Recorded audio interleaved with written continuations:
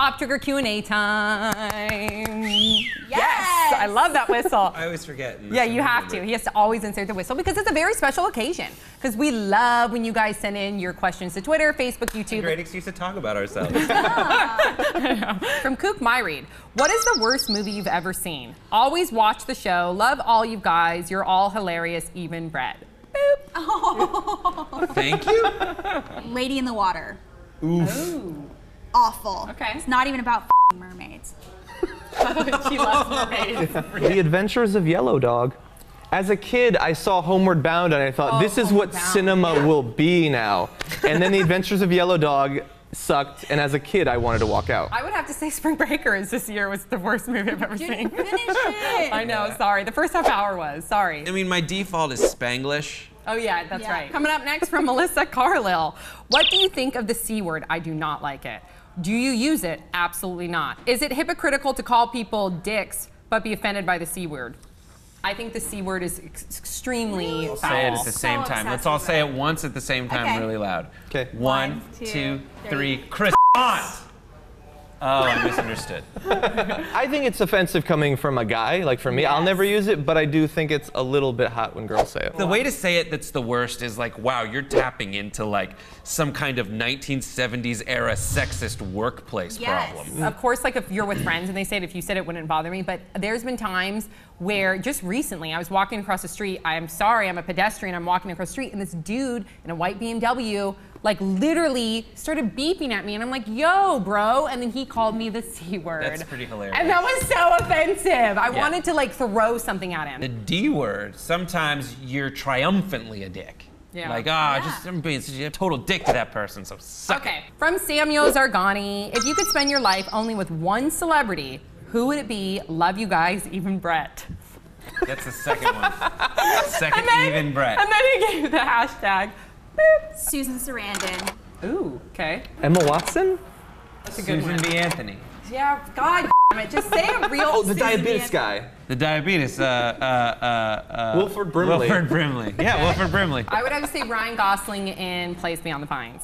Ooh, I could ride on the back of his motorcycle all the Oh my time. God. From Vanessa, what is your favorite band at the moment? And love you all. Two points for everyone. Boop. Even Brett. Dexy's Midnight Runner. Oh wow! I like that your favorite Okay. band is a one-hit wonder band. yeah, yeah. I don't really listen to bands, and this is gonna be embarrassing, but I guess the group that I listen to the most is actually the cast of Glee. Oh. That's the only music I listen to, It's so. adorable. Right now, I I have Sirius Radio and I listen to like the Fish, Fish at six. I would have to say for me, uh, at this moment, like right now, is uh, Lana Del Rey and ASAP.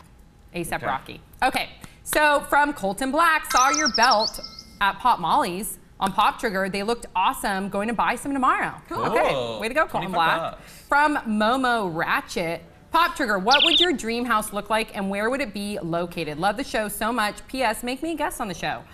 Ask Tom, because it's all on Tom. I want the cottage that Miss Honey lives in in Matilda. Oh, that's a good one. Two points for Bree. Thank you. I want either like a super awesome New York, like Manhattan loft with like a cool game room, or possibly Bilbo Baggins' Hobbit home. Ah. Mm-hmm. I want open floor plan, maybe one story on a hill overlooking the ocean, mm-hmm. and it gets foggy sometimes, and it has those cool big trees that look kind of like bonsai trees out the window. I'm gonna really like to have like a swaying bridge to get to my house. Big door, and then I definitely want secret rooms. Mm-hmm. I want a secret room for just whatever. I want to see. Like in Fifty Shades of Grey. I want the like a secret room for like games. I want to see. I just want a ton of secret rooms, and I want a really grand table where like all my friends and I can eat and dine with like big goblets. Basically, I want a freaking castle. and I want to be the princess, and I want archers to patrol the, the unicorn paddock. okay, from Facebook, Michaela K. Hi. Hi, Michaela. I love your channel and the brilliant commentary that goes with it. Now, if your life could be narrated by anyone, who would you want it to be narrated by and why? Uh, who's the guy that always narrates? Morgan Freeman. Yes, Morgan I Freeman. think the answer is Morgan Freeman. Okay, you. Christian Bale with his Batman voice. Okay. Oh god. I'm just Possibly kidding. the Wonder Years narrator. Two big points. That's the best answer From- so from far. I, Fred Savage, I'd have to do Fred Savage. From Lou Moore EP. What's your favorite bird and why? Hmm. Also, you guys are the best thing on YouTube. Thank you. And then he gives us a boop. My Favorite bird? I would have to say. Why do all bird watchers wear that same hat? That same brown hat. It's so annoying. It's part of the beginner's kit. yeah. I think flamingos are really cool. Velociraptor. It's the most badass bird. That's so Even awesome. the name itself means bird of prey. Yeah. Uh, quail, Aww. because it's got the thing on the front. Yeah. It runs and it goes like this. It, he just looks dumb. You know what? I know what who my favorite bird is. There's this bird that comes in my courtyard, and there's a lot of normal birds. There's this one big bird. I don't know what he is, but he's He's enormous and yellow, and he's got this stuff I love He even talks. he's huge, and he's like black, and he's like he's not a crow. He's black, and he has like a rounded face and a yellow beak. Three I don't know who this big bird is, but I love him. So coming from Pablo M. Sam, could you show us a picture during your cholo years? Oh God. You'll get two points if you do. I wasn't necessarily a chola. I just appreciated it. I did go to a, um, mean, an all Hispanic middle school called Alianza, and um, Alianza, Alianza, Alianza para mí. I loved Alianza. but I wasn't like chola. I didn't have like stenciled in eyebrows and like lip liner. I wasn't.